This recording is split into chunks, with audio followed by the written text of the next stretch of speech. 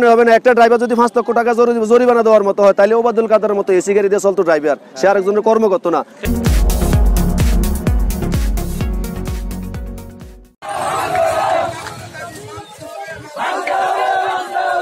যদি সরকার এই আইন বহল রাখতে হয় তাহলে আমাদেরকে বাইরের দেশের মতো সাইডে দিয়ে বেড়া দিয়ে রাস্তা বানাই দাও সে পর্যাপ্ত পরিমাণ রাস্তা বানাই দিলে রাস্তা দিয়ে এলো ফাতারি পাবলিক না হাঁটলে তখন আমরা আমরা গাড়ি সুন্দর নিরাপত্তাভাবে চালাতে পারব। আমাদের দুর্ঘটনা কম ঘটবে। এখন যে নিয়ম করছে সরকার পাঁচ লক্ষ টাকা জরিবে না ড্রাইভারের ফাঁসি সারা বিশ্বের কোথাও এই আইন নাই। সারা বিশ্বের কোথাও এই নেই আমরা এই রাস্তা বন্ধ করছি আমরা নিজের গাড়ি বন্ধ রাখছি। যতক্ষণ আমরা এই দাবি দাবা মেনে নেওয়া না হয় ততক্ষণ রাতে আমরা রোডে থাকব আছি। রাত্রেও বাড়ি যাব না রাজপথ ছাড়বো না আমরা যতক্ষণ রাস্তায় আছি ততক্ষণ রাস্তায় থাকব। জি। সরকার আমাদেরকে যে একটু আগে ওবাদুল কাদের বলছে যে আমাদের এটা এই দাবি মেনে নেওয়া হবে না। কেন মেনে নেওয়া হবে না? একটা ড্রাইভার যদি পাঁচ লক্ষ টাকা জরি- জরিমানা দেওয়ার মতো হয় তাহলে ওবাদুল কাদের মতো এসি গাড়ি দিয়ে চলতো ড্রাইভার সে আরেকজনের কর্ম করতো না আরেকজনের কর্ম করতে যাইতেছে তার ফের চালানোর লাগিয়া। তার চালানোর লাগিয়ে কর্ম করতে যায়, তার সকালবেলা ক্ষুদের তারা না বার হইতেছে। এখন রোডে গাড়ি চললে অ্যাক্সিডেন্ট হবে। সরকার আমাদেরকে ট্রেনিং সেন্টার দক, সরকার আমাদেরকে রোডে নিরাপত্তা দক, সরকার আমাদেরকে অরিজিনাল লাইসেন্সের ইন্টারভিউ দেওয়ার মতো সে একটা সেন্টার খুলে দক। তখন আমরা সেই ভালো প্রোডাক্টের ভালো ড্রাইভার বাইর করব, তখন আর রোডে অ্যাক্সিডেন্ট দুর্ঘটনা কম ঘটবো। আটটা দাবির ভিতরে মেন তিনটা পুলিশের হয়রানি, পাঁচ লক্ষ টাকা জরিমানা ড্রাইভারের ফাঁসি। যে আমরা লাইসেন্স করতাম গেলে বিএটি তো হয়রানি। যেমন দেখা গেছে সরকারি ভাবে লাইসেন্স করতে তিন হাজার টাকা ফিস আমরা দালালের হাতে যাই পড়ি আমরা দশ হাজার পনেরো হাজার বিশ হাজার টাকা।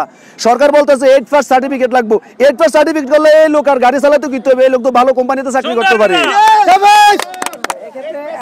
এখন কিন্তু কেন্দ্রীয় নির্দেশনা যেহেতু এখন- বর্তমান সারা দেশে কোটি কোটি টাকা লস হচ্ছে। জি। সেক্ষেত্রে আপনাদের কি সিদ্ধান্ত? লস সবচেয়ে বেশি আমাদের হচ্ছে। আমরা কর্ম করে খেতে খাওয়া মানুষ। আমরা আজকে দিন বয়ে রয়েছি আমরা আজকে দিনের খেসারত এক সপ্তাহ টাইম শেষ করেন যাইতো না। এমন লোক আছে কিস্তির রূপে টাকা উঠাইয়া গাড়ি কিনছে। কিস্তির রূপে টাকা উঠাইয়া লাইসেন্স করছে। সে গাড়ি যদি বন্ধ থাকে কিস্তির টাকা দিতে হতো না। কিস্তিওয়ালা বাইতে মাল করুপ দিবে এটাও সরকারের নির্দেশ। আচ্ছা আপনাদের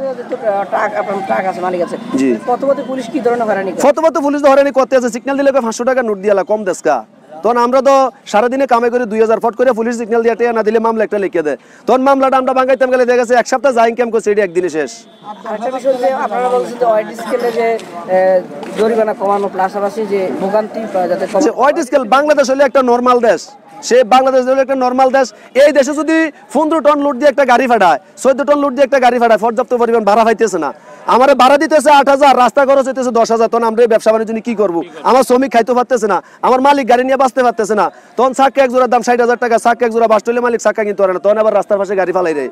এরপরে পুলিশ হবে আইয়া কয় ক্যারেং লাগা থানায় নেই আরেকটা বিষয় হচ্ছে যে এই বিষয়ে যে আপনাদের আটচল্লিশ ঘণ্টা অবরোধের ঘোষণা দিচ্ছেন জি, জি। আরও বাড়তে পারে কিনা? কি আমরা দাবি দাবা না মানে নিলে ভাবতে পারে।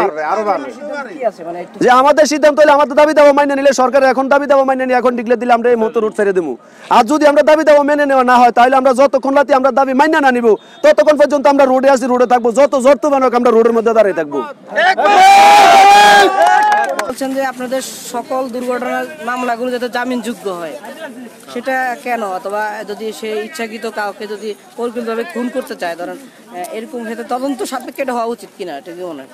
মানে সরকার যে কার্যকলাপ আমরা নিতেছে আসলে এটা আমি প্রশ্নটা এটা ছিল সেটা হচ্ছে যে কাউকে যদি এখন তো জানেন বাইরের দেশে জঙ্গি হামলা হয় গাড়ি দিয়ে সেক্ষেত্রে যদি তদন্ত করে যদি মনে হয় যে সে প্রকৃত অপরাধী তখন তাকে জামিন দেওয়া যায়। আপনি যেটা বলছেন যে সকল মামলায় জামিন দেওয়া এটা কি যুক্তিযুক্ত কিনা? মানে তদন্ত ছাড়া মানে তদন্ত ছাড়াই আপনাদের জামিন হয়ে যাক এটা কি ঠিক? না না তদন্ত ছাড়া যাবে না, যদি দেখা যায় যে এরকম কোনো ইস্যু পাওয়া যায় তাহলে তার বিরুদ্ধে তার অবশ্যই বিরুদ্ধে অবশ্যই। আমরা ইয়া নেওয়া ঠিক আছে। হ্যাঁ, সেটা আরেকটা হচ্ছে যে আপনাদের বলছেন যে গাড়ির রেজিস্ট্রেশনের সময় যে সেক্রেটারি এবং কি সভাপতি সিগনেচার লাগবে যে নিয়োগপত্র সেটা এটা আগে কি ছিল না? না আমরা তো রেজিস্ট্রেশন করতে আমরা হরানি হইতেছি ওই জায়গায়।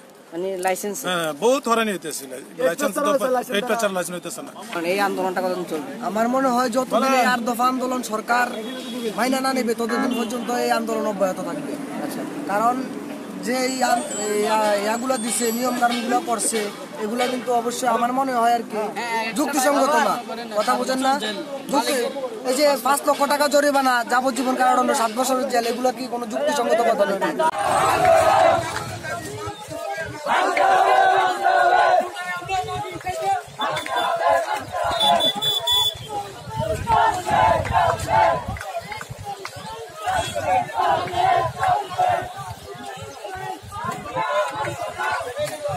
কারণ একজন ড্রাইভার ইচ্ছাকৃত ভাবে একজন ড্রাইভার ইচ্ছাকৃত ভাবে মনে করেন একটা মুরগির বাচ্চা মারে না। হয়তো দুর্ঘটনার বশত যায় একটা দুর্ঘটনা ঘটে যায়। এটার জন্য যে ড্রাইভার দায়ী থাকে তাহলে তদন্ত করে তাকে সাজা অবশ্যই দিতে পারে। সাজা দিবে না যে তা না। কিন্তু একটা আয়াত্তের মধ্যে রেখে। কিছুদিন আগে ছাত্ররা আপনাদের উপরে একটা মানে আপনাদের তদন্ত করছে তারা লাইসেন্স চেক করছে। এটা কি তাদের প্রতিফলন আপনি উল্টা এরকম কিছু হতে পারে কিনা? তাদের সাথে রাগ করে না না না এরকম না এরকম না। আমার কথা হচ্ছে যে আইনটা করছে। যে আইনটা করছে এই আইনটার প্রতি কোনো ড্রাইভার কোনো শ্রমিক আপনার এই আইনটার প্রতি শ্রদ্ধাশীল হইতেছে না। কারণ এই আইনটা মাইনে নেওয়ার মতো না। পাঁচ লক্ষ টাকা জরিমানা একটা কোটিপতি কোটিপতি সন্তানে তার গাড়ি চালায় না। দিন মজুরে গাড়ি চালায়। টাকা জরিমানা দিতে পারে? সে কি মোটর গাড়ি চালাতে আসতে এখানে আসে পরে গাড়ি চালাতে আসে। আমি পাঁচ লক্ষ টাকা যদি ব্যাংকে রাখি প্রতি মাসে পাঁচশো টাকা করে দিলে আমার পঁচিশ হাজার পঁচিশ হাজার টাকা আসে। তাহলে আমি বালফালাতে আমি পরে গাড়ি চালাবো?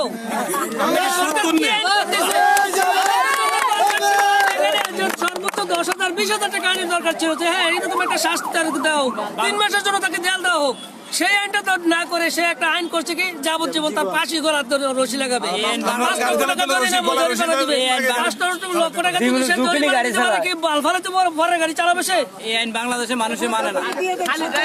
এক্ষেত্রে অনেকে আছে লাইসেন্স ছাড়া গাড়ি চালায়। এই বিষয়ে আপনারা ড্রাইভাররা কি যারা ড্রাইভিং লাইসেন্স ছাড়া গাড়ি চালা তাদেরকে সরকার আওতা অধীনে নিয়ে তাদেরকে একটা সামরিক শাস্তি দেওয়া হোক।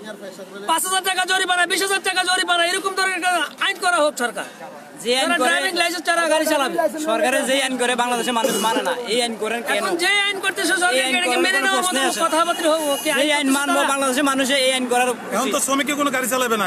যে মালিকে স্টারিং উঠল মালিকের তো বর্তমান শ্রমিক। স্টারিং উঠল মনে করো সেই ড্রাইভার কীভাবে মালিক গাড়ি চালাবে? কথা বলছে না কি করছে? এই আইন প্রত্যাহার না করলে আমরা গাড়ি চালাবো। এই আইন প্রত্যাহার করতে হবে।